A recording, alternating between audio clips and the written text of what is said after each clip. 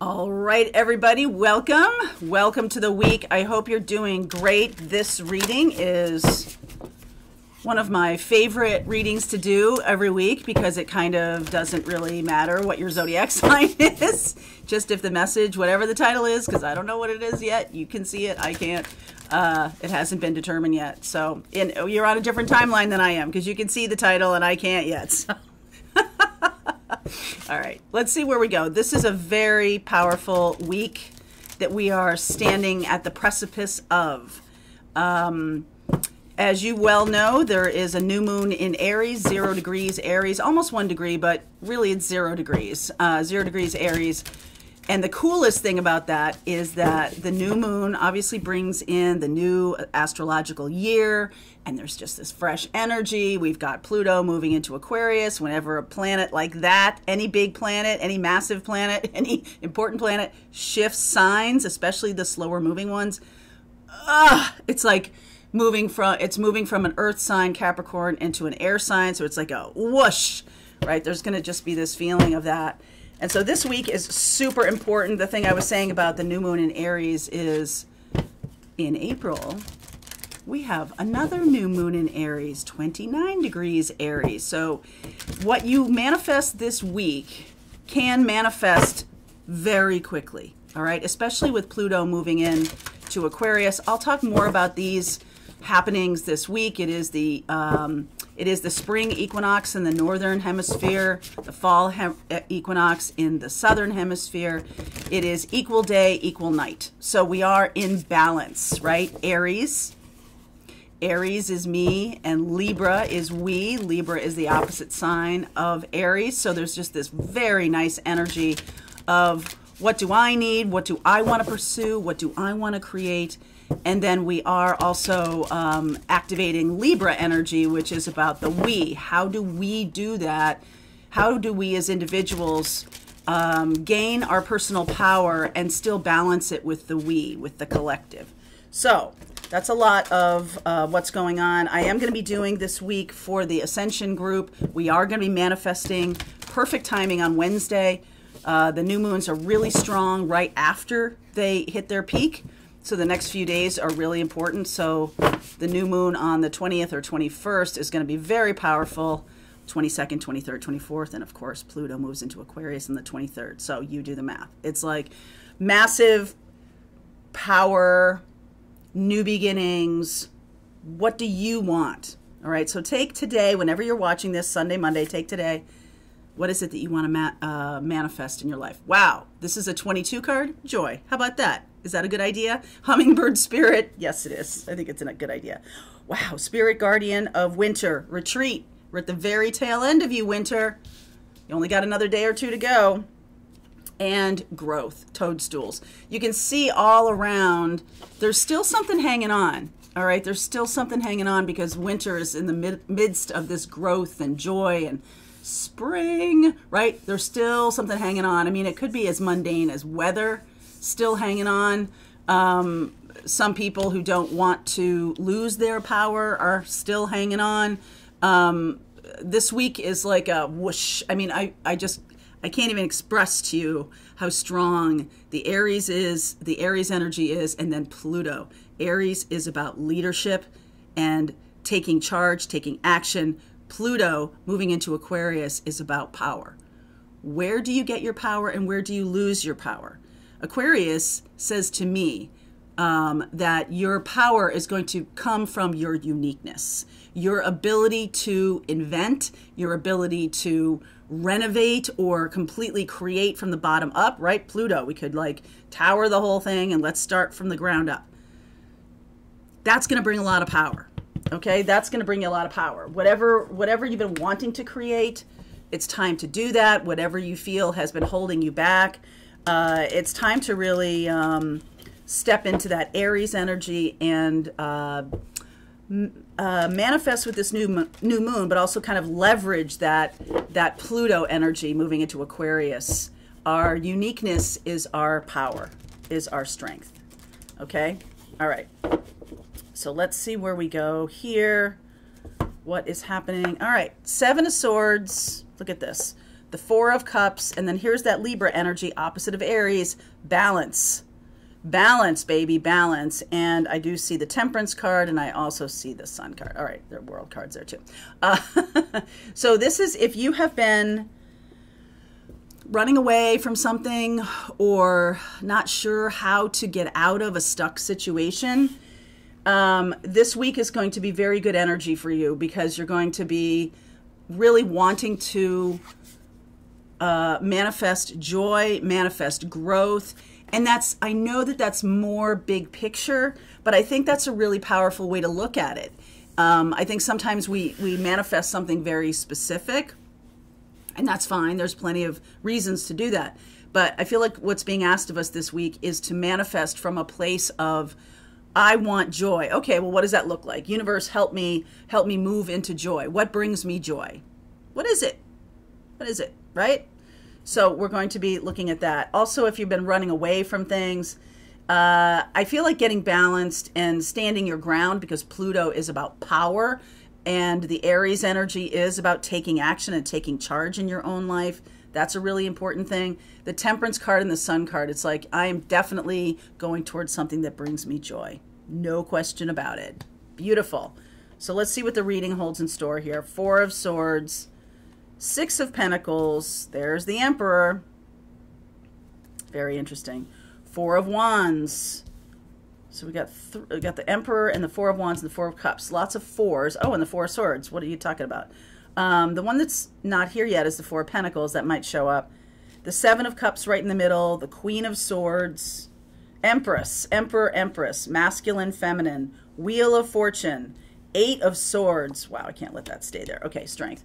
Um, so this is about getting out of your confused mindset, your lack of clarity around things. Um, I feel like that exists because there's some things that still need a little bit of healing. So this would be a good day, whenever you see this, this would be a really good day to either ask for help or be uh, benevolent, be uh, um, giving in such a way. Learn to give from a place of power. Learn to be to shift into service. Okay, there's a lot of people we are uh, in April. We're going to start the refresh of the spiritual business class, Operation Launch. All right, so that's coming up. There's a link in the description box below if you want to join us for that. If you want to build your spiritual business, gain some power, take action. I feel like there's a, some things that need to be healed. It's like a shift. It's a shift from how do I make money to how do I be of service what's the most service? How can i provide more service? There that's a little bit weirder less weird. Um, how can i provide um, healing information that brings people power that moves people out of their confusion that moves them toward you know out of their uh, stuck mindsets? I think it is going to take courage for a lot of people right now.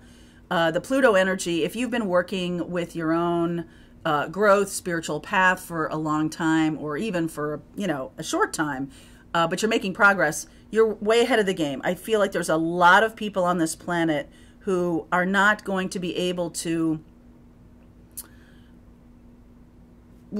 align with the new energy, and it's going to give them a lot of stress. Uh, old structures of power, uh, old ways of being in power, and all of that. I feel like that is getting blown up. That's getting it's getting seen as not being powerful. Okay, so um, it's kind of the shifting of the times, moving Pluto moving into Aquarius, the shifting of the times, the innovations that are happening much more quickly are bringing us all individual power, and those those old structures, the the platforms, the behemoths, the the powers that be in the in the ivory towers and things like that. I feel like that power is waning all right, the individual power is on the rise. Uh, what it is that you want to create and what do you want to heal? What do you want to do for you? And if you put that through the lens of service, what am I here to do? I'm here to be of service. Okay, so I'm healing things that block me from being of service. And then how do I create something that is powerful for myself, that is uh, service oriented for people, and um, being supportive of other people's growth. How do I do that? I think for a long time there's been this sense of I'm running away from a thing that isn't working anymore, or I'm running away from an experience that is an old school kind of block, right? An old school kind of paradigm, a mindset that's old school. Uh, the day has come. This is the week, the fated, destined week of stepping into our power here with the strength card. And I do feel like for a lot of people, it's going to, for some, it's going to take more courage than others. Okay. I feel like there's a, a disconnect in the world right now about people thinking people of people who are not really doing their healing work not really sort of embracing their spiritual path thinking that being of service to other people is weak or somehow uh, that means that i'm not going to get mine kind of thing that paradigm is shifting okay we are now going to see that we are stronger. If if I'm strong, it's my job to bring you up. If you're strong, it's your job to bring other people up. And not in a way of doing it for them, but sort of like, okay, how can I be of service? How can I make my gifts, put my gifts at the disposal of everyone who needs them? And I don't get to decide who that is. You get to decide if this is meaningful for you or not meaningful for you. The Emperor and the Empress here is about um, opening one's heart to love. I feel like some of you have been blocking your heart from love because of a twin flame, because of a disastrous divorce or a terrible situation. I don't think you see that that broken heart is keeping you from um, compassion and higher vibration love. I don't think you see, I don't think people are making that connection. Um, that for me to you know, I get a lot of comments about why are you always talking about love? Who cares about love? I want to talk about my mission. But if there's a broken heart under there, if there's a pushing away of love as a concept, as an idea, as a theory, uh, and like that, that's very much a thought form in your head, that needs to shift. And that needs to be released because love is the thing that connects us all. Love is the thing that is going to bring us uh, together on this planet and raise the vibration. Love is more than how you might be defining it. If if you're thinking about love as a one-to-one relationship or even as a love between individuals, what I'm talking about is love of mankind. I'm talking about love you know, in terms of kindness, generosity, spiritual union with the divine. I'm talking about love in such a big way that when people do show up in this life as a love partner or as somebody who, you know, a mother loving a child or uh, friends loving friends or, um, you know, going to work in a nonprofit because you know you're wanting to create that energy of compassion with other people and help help them move through their life and get to the place where they can do it for other people too. Uh, i feel like that's uh you know those two things are not disconnected. If someone comes into your life and makes a pathway for you to love that's in service to humanity it just is because think about a time when you were in love and think about the energy of that about walking around smiling and saying hello to everybody and just being like, hello, I'm here, this is awesome. That benefited everybody around you.